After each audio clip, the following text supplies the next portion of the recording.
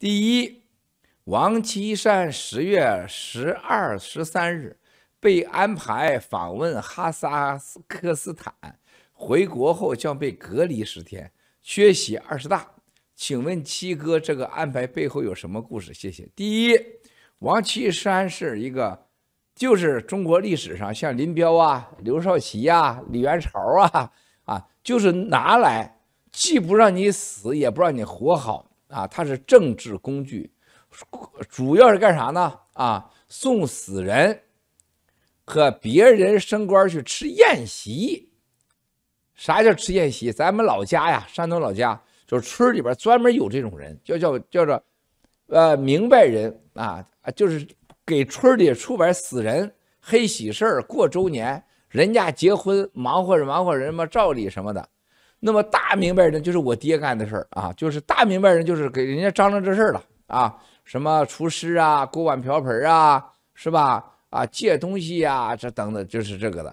那么小明白人就是说这个给大明白人当支手的啊。就是去送个送个死人呐，过个周年喊两嗓子啊，这人基本上就混吃混喝啊。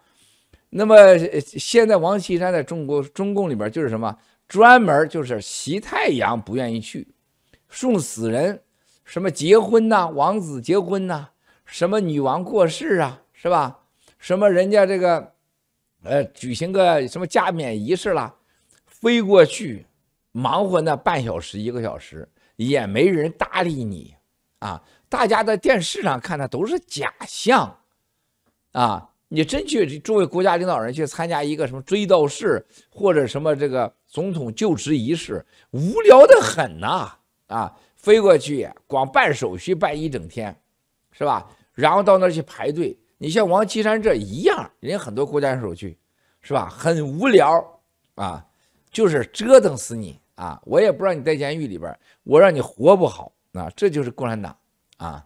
这个副主席他比李元朝还惨，回来这个关于这个呃被隔离十天啊，这说法不准确啊！这个王岐山不会真正的隔离的，不会真正的隔离的，反正就折腾他呗啊！反正也不会让你什么议事啊，多大的事儿也不会让你议，啊，说明王岐山已经远远早就。成了摆设，远离了权力决策中心，啊，这个共产党的大明白人啊，很惨啊，没有什么背后故事。七哥早就说过，他一半已经失去自由了啊。工会干部啊，我们这说 工会干部，工会干部吧，人家来了，大家还知道他能办点事儿。你王岐山那啥事办不了，啊，就是个矬子，那看露下电视啊就完了。就让他去韩国，就我好几个朋友都是国家的元首，看到王岐山在那块坐着，他说王岐山整个真是太老了，无精打采，这就是摄像机对着他说啪，就然后就很认真啊，脖子歪了，跟他妈烧鸡似的，是吧？脖子歪烧鸡的，看着镜头走了，嗯，马上就不行了，是吧？啊，非常差劲，那精神状态极差。身体状态极差啊！他说可跟原来的王岐山不是一样了，他们也不能过去打招呼，就是就是老远的有两个人什么挥挥手啊，完了。